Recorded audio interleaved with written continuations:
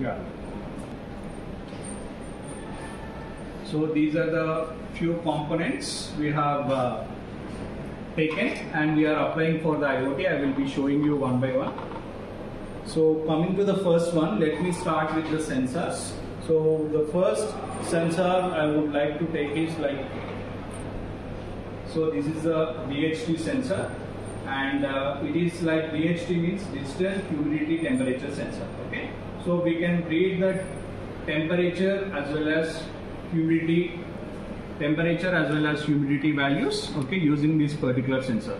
If you want to monitor any uh, room parameters or if you want to monitor any kind of area parameters with respect to the temperature and humidity you can use this particular uh, DHT 11 you will be having different types of sensors like what the, the sensor what you are seeing over here is the DHT 11 sensor okay? And you also have a DHT 22 sensor as well.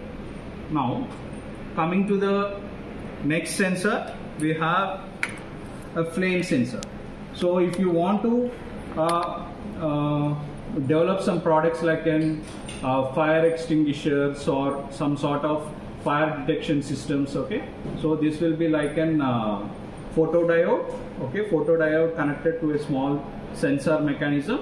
And this will be having four pins the power supply analog signal as well as the digital signal.